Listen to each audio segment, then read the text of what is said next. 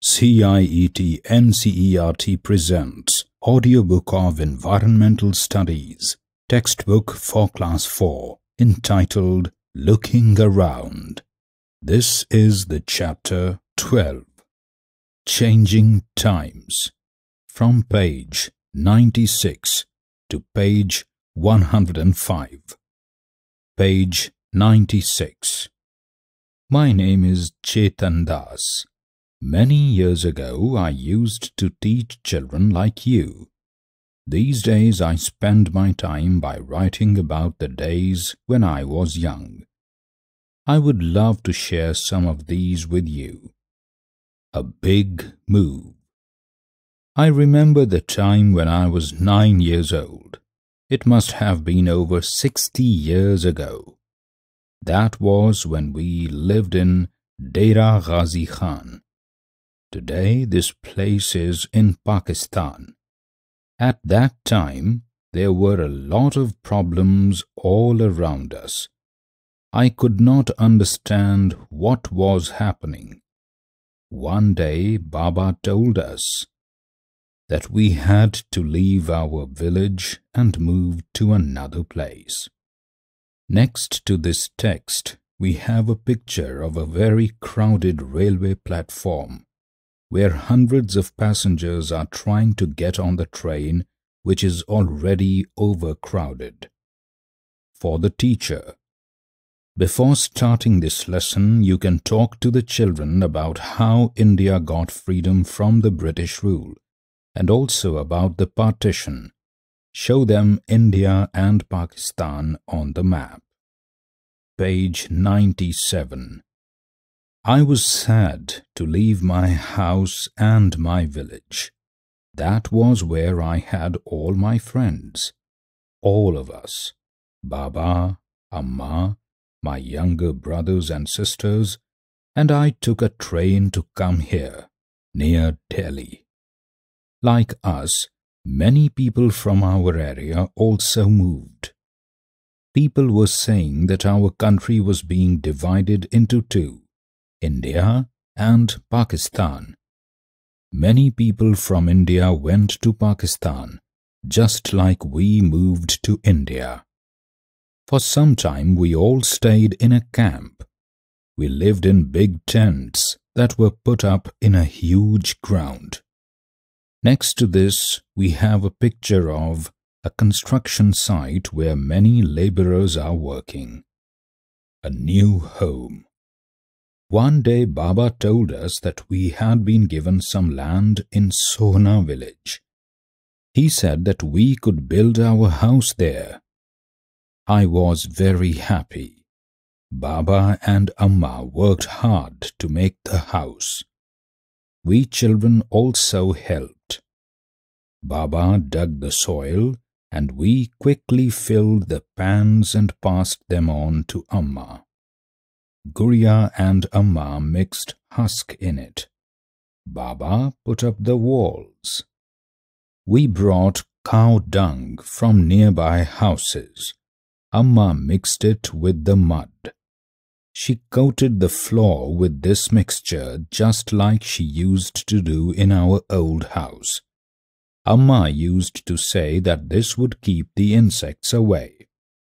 On the right-hand side of the page, we have the picture of the child with the mother, Amma, who is mixing cow dung with mud. And nearby, a house is being constructed by two laborers. Page 98 Then it was the turn for the roof to be made. Baba made a frame by joining strips of wood and fixed it on the four walls we put branches of neem and kikar trees on the frame so that termites would not harm the wood. Amma put old gunny bags on this and covered them with mud. Most of the houses around our house were made like ours. A few were different, but I liked my house the best. It was just like our old house. Find out and write. Talk to any one of your grandparents or any other elderly person. Find out when she or he was eight to nine years old, where did she or he live? Name that place. Dash. From what material was her or his house made? Dash. Did they have a toilet in their house? If no, where was it? Dash. In which part of the house was food cooked?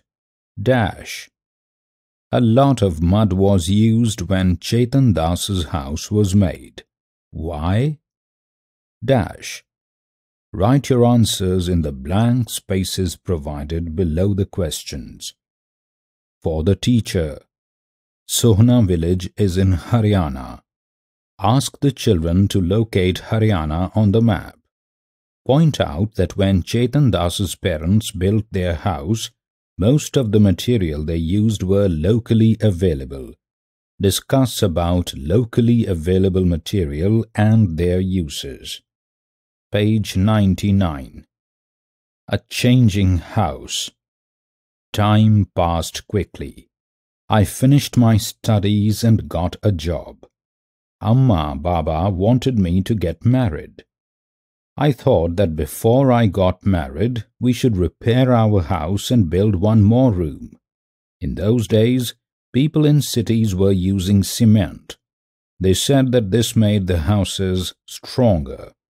We also thought we would use cement. We used iron and cement for making the roof of the new room. In those days, unbaked bricks were also available in the market. We made the walls with them. The use of bricks was useful.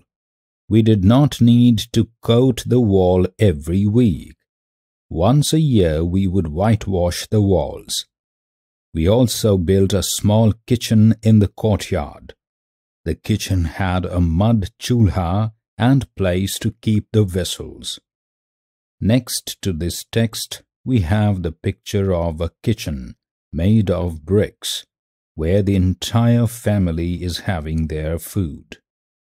Then I got married, and my wife Suman came to our new house.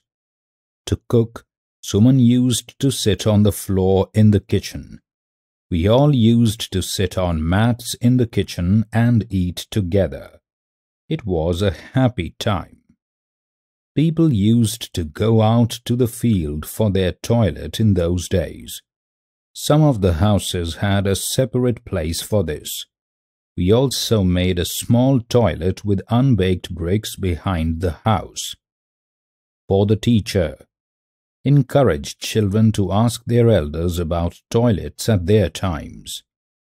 Page 100 Chetan Das tells that people from the basti used to come to clean the toilets and take away the waste.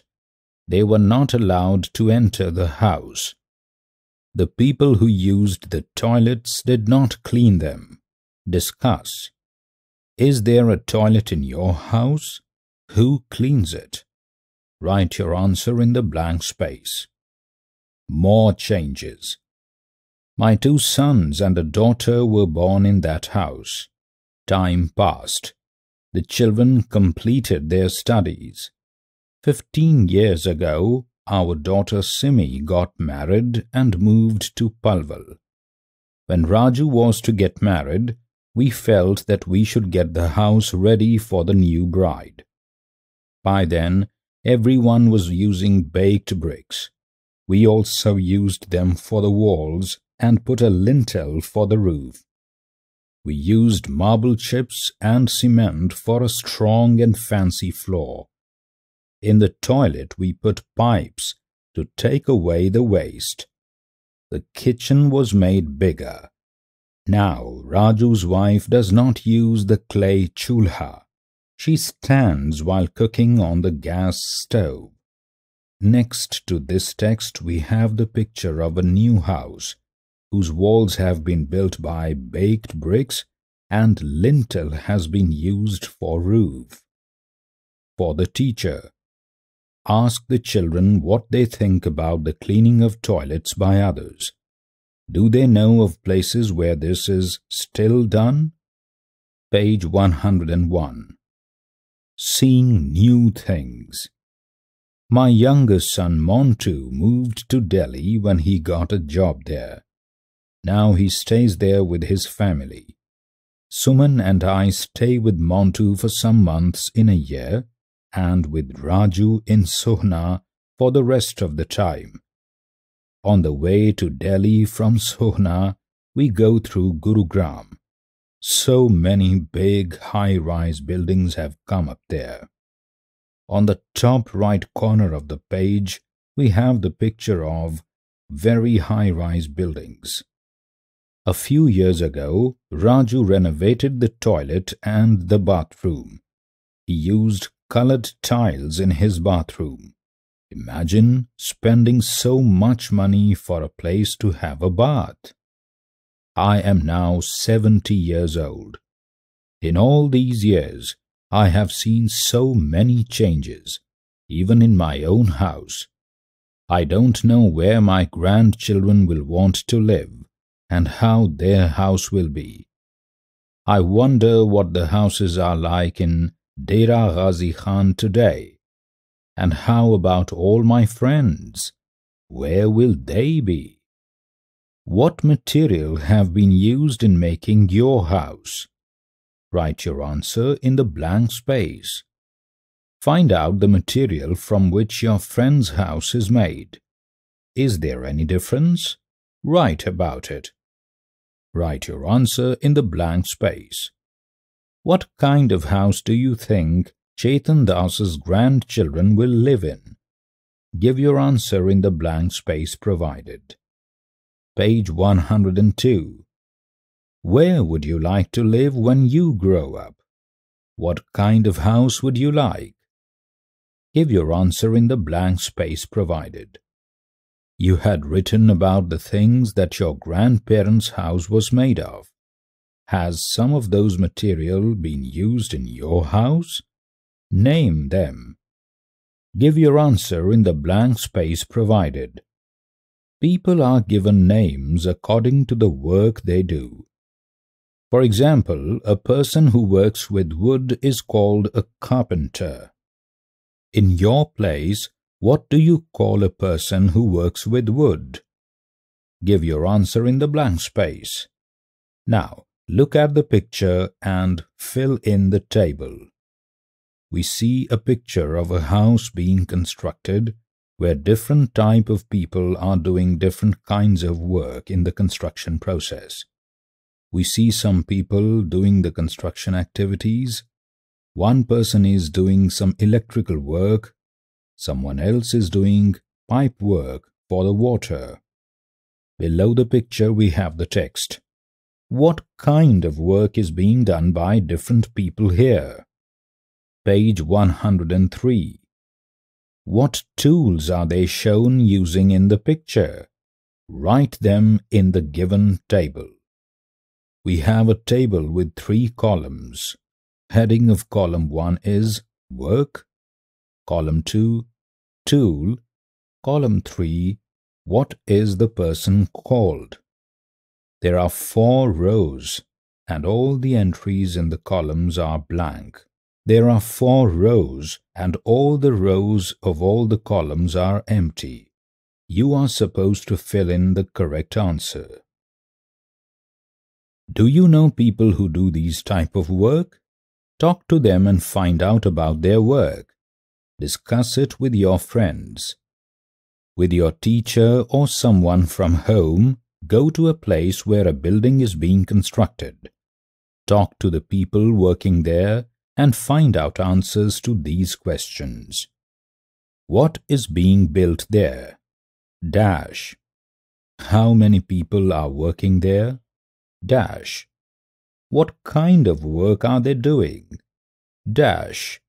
How many men and women are there? Dash. Write your answers in the blank spaces provided. For the teacher, if there is a construction site nearby, you should take the children to visit it. Let them interact with the people working there.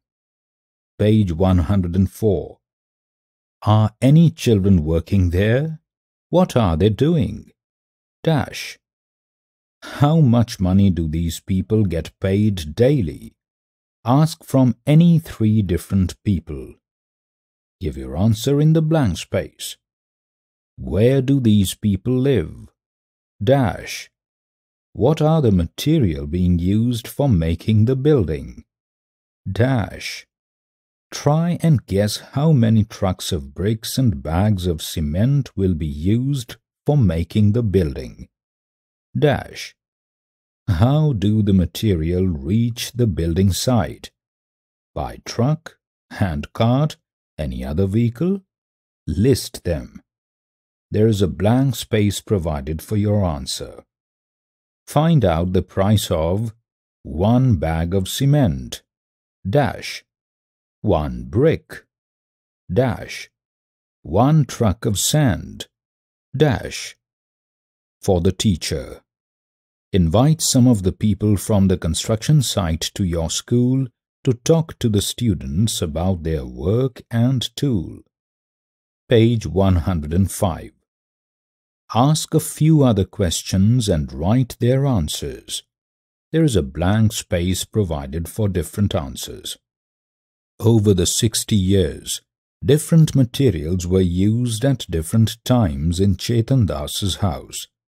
List these in the correct order. We have four pictures of huts with four rows each. You are supposed to write the correct answers in these. Let us make houses. Divide the children in the class into three to four groups. Let each group make a model of a different house. For this, you can use mud, wood, paper, pieces of cloth, shoe boxes, matchboxes, and colors. Place all the houses so as to construct a neighborhood colony.